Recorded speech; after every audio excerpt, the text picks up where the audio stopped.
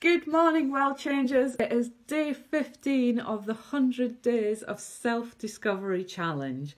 So, by now, I'm sure you know what this is about, but if you're seeing this video for the first time, every day I pose a thought provoking question. I share my own reflections on that question, and I invite you to do the same. And I invite you to share your comments and your reflections below in the comments. Um, either take a photograph of your journal entry or you can post a video like this. You don't feel comfortable doing it so publicly, you can do it um, in our Change Your World personal development group, which is a private closed group on Facebook, and you're more than welcome to join, and it's free to join.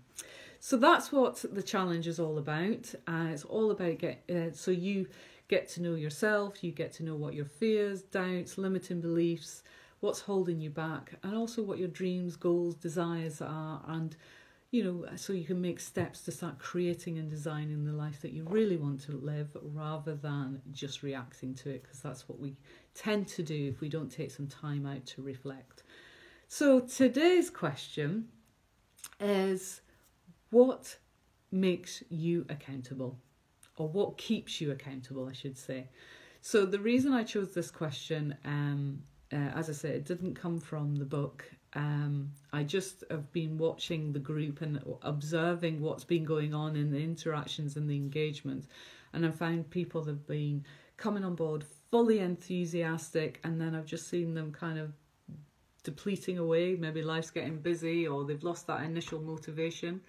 It's the same. I've had lots of people contacting me privately, going, "I'm loving this challenge. I'm totally on board with it and they've been sharing their reflections or you know they've been keeping them privately but letting me know that they're doing them uh, doing the challenge. And but then again i've sort of seen that sort of deplete away and i found myself uh, you know like there's been a couple of days where i'm like oh damn it i've got to do my blinking video and i've got to do my check-in and i found myself literally um, just you know life's busy and i thought oh god i haven't got time for this however it literally takes 10 minutes 20 minutes at the most out of my day and if i have not got 20 minutes for a bit of personal development and self-evaluation about where i'm going what i'm doing how on earth can I start creating the life that I really want to live or continue building on the life that I've created for myself? Um,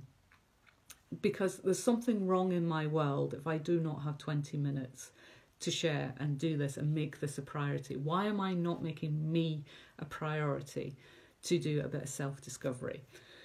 And the thing that keeps me accountable, so it's very much doing publicly on social media because I've put it out there now that I'm doing this 100 days of self discovery. I can't back out now. You know, people have started engaging with it, they're loving the process, that you know, they're sharing their own thoughts. I'm committed to this process now. And that is one of the things that when it comes to keeping commitment going and keeping accountable, we often we set a goal, we focus so much on the goal that we don't think about the process in between. We don't focus our attention on the baby steps required to get to that outcome. We're just like, you know, I'm here, that's the outcome, and I want to be there, and I want to be there today. And we don't recognize actually change takes time. You know, we've created, we're constantly creating, and if we're not reflecting constantly about what we're recre- what we're creating in our life, life will just automatically take over and probably negatively um, we'll start creating a negative life for ourselves or a less than empowered life, I should say. So you have to be really, you have to have a daily consistent practice. You do need to keep yourself accountable. And that is through, you know, thinking, well, what can I do today? What is going to take me closer to that outcome that I've set for myself? And it does take time. It doesn't happen overnight. And that recognizing that it's daily consistent practice is the key to success, succeeding in your goals.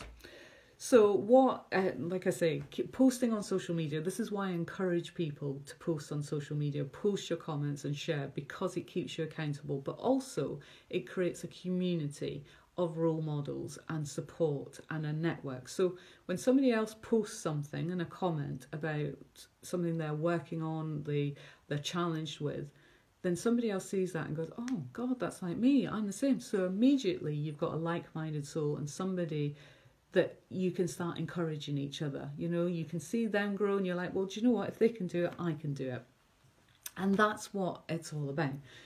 And when I, um, like last year, for example, I decided that I was going to, I was curious about what life would be like without alcohol. And I wanted to set myself a challenge to go alcohol free for an entire year, 365 days.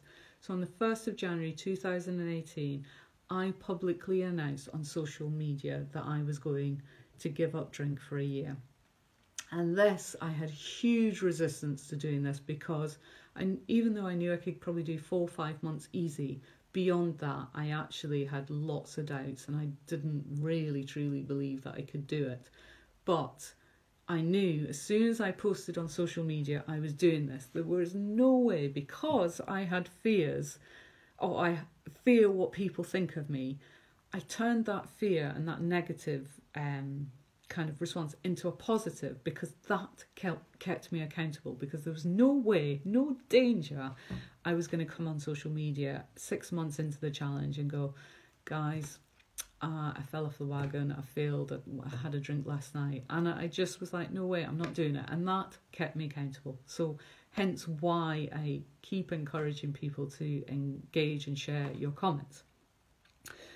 The other thing that keeps me accountable is role models, and it is very much connecting with people that have similar goal, goals or have achieved those goals so that I can continually be inspired by them. So there's a saying that you become the direct reflection of the five people you spend the most time with. So if the five people you're spending the most time with are not encouraging you and supporting you in your goals or um, keeping you on track, helping you to keep on track, then find a tribe that will. There is an abundance of groups out there, whether it's in your local community, whether it's online. There's loads of groups on Facebook and social media that you can tap into with people that are like minded and going through the same challenges and same hurdles. A lot of them are free, some you have to pay for. You know, find what you what works for you and connect with that because the reinforcement of um, somebody else that's going through the same challenges or you know same highs and lows and achievements and or somebody that that has achieved it and you can see that their life is just like great as a result of making this change that keeps you inspired or keeps us inspired. It keeps me inspired anyway. Having a personal development practice is absolutely key and fundamental you know just think about it in simple terms improve on yesterday. What can i do that will take me closer to my goal? Um, what can i do today that will take me closer to my goal? Um, i think about that. I'm just looking at my notes. Um, yeah, the, oh, that's the other thing.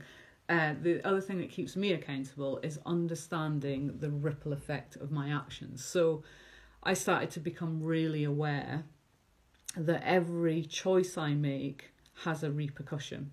So I started becoming very mindful about those choices and un- really thinking, well, if I make this choice today or this choice in this moment, what is the repercussion of that? You know, what is the outcome of that? And is it taking me closer to my goals? Now, some days I go, sod it, I don't care. And other days I go, do you know what? No, I'm not going to do that, you know? And again, if I find myself saying, sod it, I don't care, then I know that I need to re engage with the reason why I started this challenge and re engage with people that are going to keep me back on track.